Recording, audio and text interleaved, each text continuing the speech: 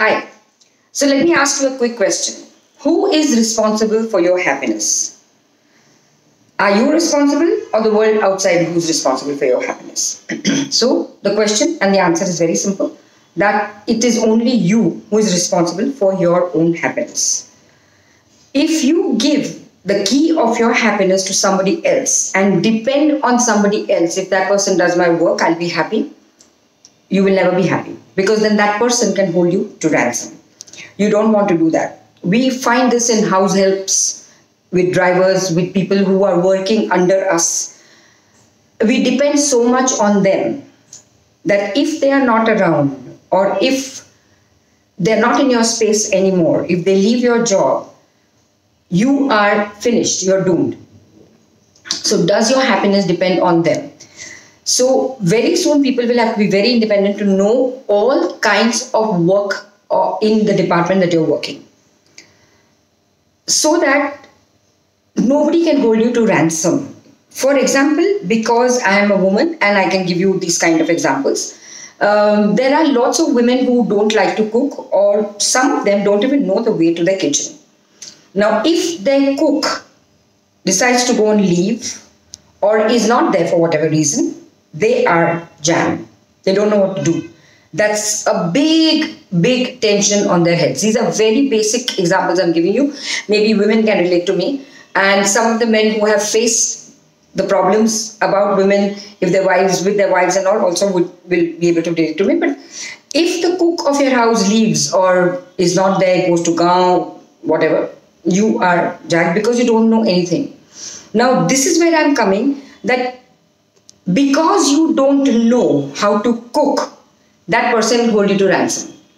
So, what I'm trying to say is in whatever business you are in, it is not possible for you to do everything yourself. You do allocate duties to people.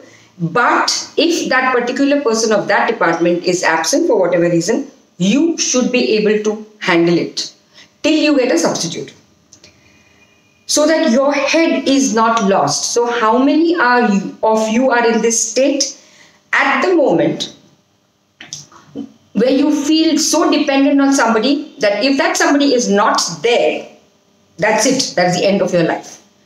I want your answers and how are you handling it?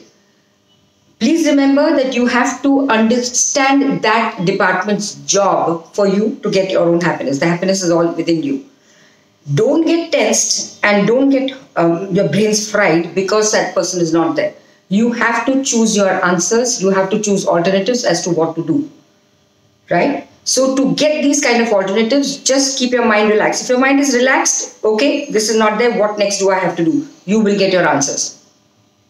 But if you get your brain fried you will be in that zone and you will not get your answers. So you've got to find substitutes immediately. These things happen time and again in your life. They will keep on happening. That doesn't mean all your life you're going to sit with your head like this and oh my god, what the hell am I going to do now? Okay, so sit relaxed. You will find your answers. So all the happiness which you want is all within you. You can do whatever you want to keep yourself happy okay so i want to i want you to interact with me and tell me how you're dealing with certain kind of problems or issues in your life. This i really need this answers to how you're coping because every person goes through these kind of things but i want you, you to tell me how you are coping with this because these these are issues which are there every day in our lives. Yeah? So waiting for your answers i'm on all social media platforms you know that. And uh, do get in touch with me right? Thank you. I would like to have an interaction with all my uh, people who, are, who view me on all my various platforms, and I've been getting really great viewers on all my social media platforms. Thank you very much, and I love you all very much. Bye. See you.